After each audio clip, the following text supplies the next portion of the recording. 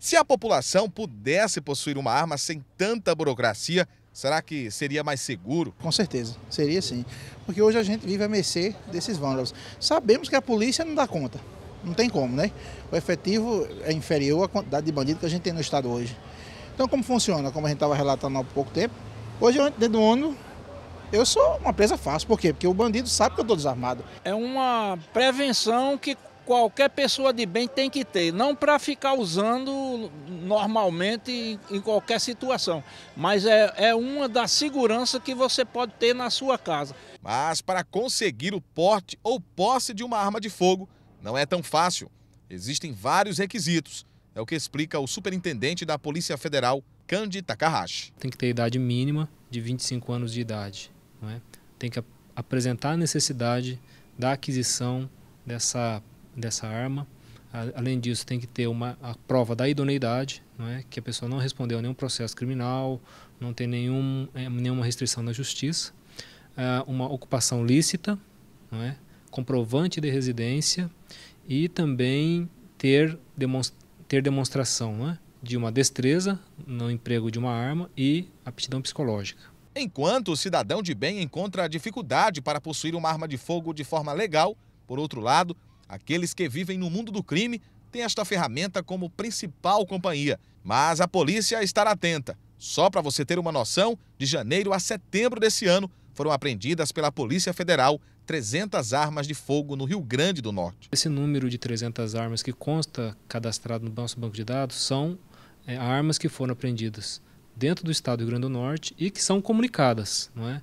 é nós temos casos e sabemos que às vezes a, a, a, não há uma comunicação, não é? ou seja, esse número muitas vezes não é confiável por falta dessa alimentação do banco de dados, que é uma obrigação dos órgãos de segurança pública. Para aqueles que conseguem o porte ou posse de arma, algumas recomendações são necessárias. Então, a pessoa tem que ter o cuidado de é, comprar uma arma, manter essa arma num local seguro.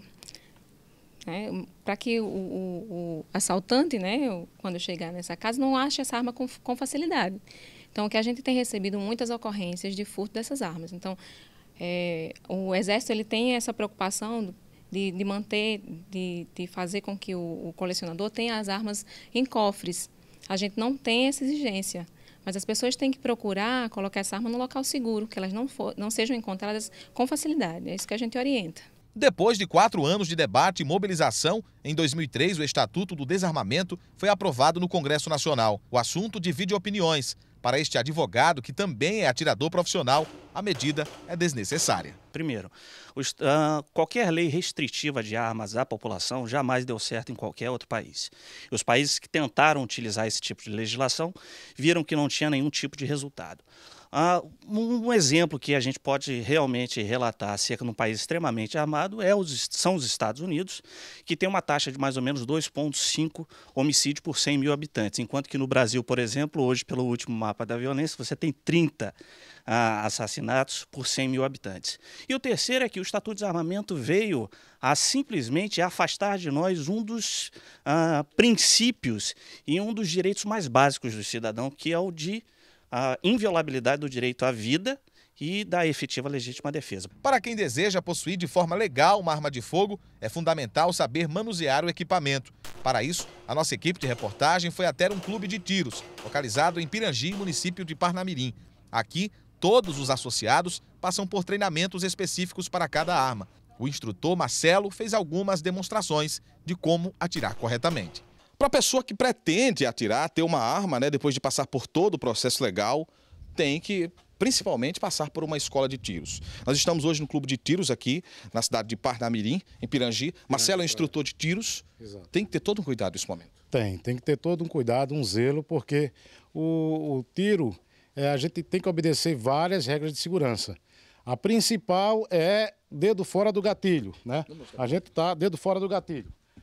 A condução da arma. Você, quando pega no arma, você tem que estar com o dedo sempre fora do gatilho.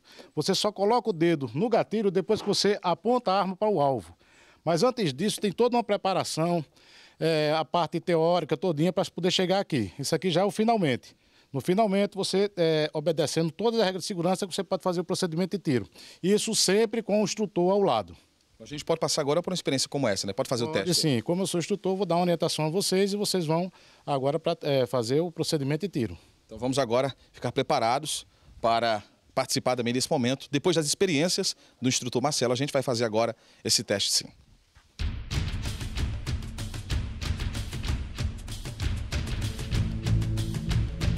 Coloca o dedo fora do gatilho, coloca a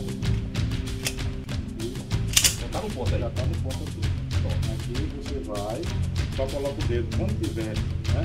Previamente faz a base, né? a base é apoio, base apoio, alce massa e faz o procedimento.